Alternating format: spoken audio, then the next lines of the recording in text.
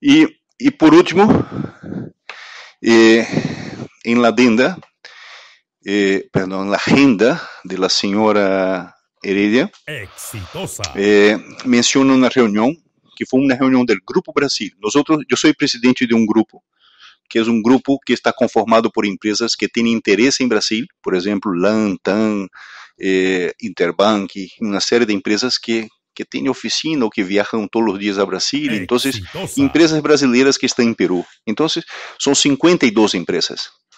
Y nosotros solíamos hacer invitaciones a los candidatos a la presidencia para poder eh, hablar de su plan de gobierno en periodo de campaña. Y justamente, si no me equivoco, esta reunión es una reunión en el club empresarial con este grupo de empresarios, donde ha estado el, en la época el, el candidato a presidencia Humala, con la señora Navini, con el señor Salomón Lerner, y había Félix, no sé, varios otros asesores que, que hacían parte y han estado ahí presentando por una hora, una hora y media su plan de gobierno. ¿no? No sé si, si contesté. Una interrupción, presidente. Eh, está bien.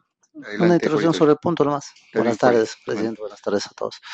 Eh, usted dice que eh, sobre esto último que estaba aclarando, eh, era cotidiano que estos grupos empresariales pidieran un informe de su plan de gobierno a los candidatos. ¿Recuerda usted, aparte del candidato Humala, que otros candidatos más participaron de este tipo de reuniones? No ese día, ¿no? Sino de este tipo de reuniones, por favor. Normalmente todos los primeros cuatro o cinco candidatos han participado. Exitosa. ¿Podría precisarnos, por favor? Ay, no, no, no me acuerdo quién era, porque en la época Con la señora Keiko Fujimori la señora Keiko Fujimori, participó también en la reunión. sí, ha, in- ha sido invitada, ha participado.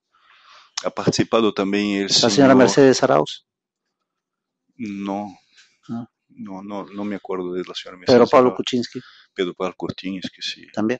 Exitosa. Eh, ¿Quién era más candidato? Ya no me acuerdo quién, quién eran los candidatos en esa época, pero, pero sí ha, ha O sea, ido, era ha ido cotidiano. cotidiano, han ido cuatro, cuatro o trata. cinco candidatos.